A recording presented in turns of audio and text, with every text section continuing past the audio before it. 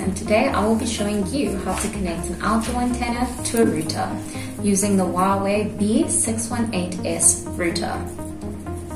So this router uses TS9 connectors.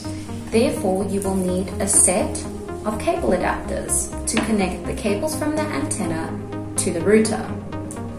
So I first just want to show you how you connect the male to the female simply screw it in. And what's nice about our cables is that they have grip extenders, making it a lot easier for you.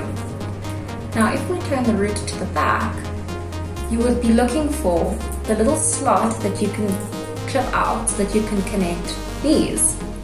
I looked and looked and looked and eventually I found it right over here. You can just unclip that now you want to be careful with these. You don't want to break them or bend them, so you have to put them in straight.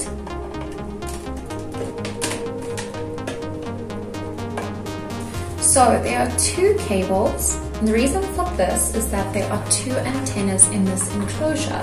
The same applies for the omnidirectional antenna. Therefore, you can use either antenna that suits your interests.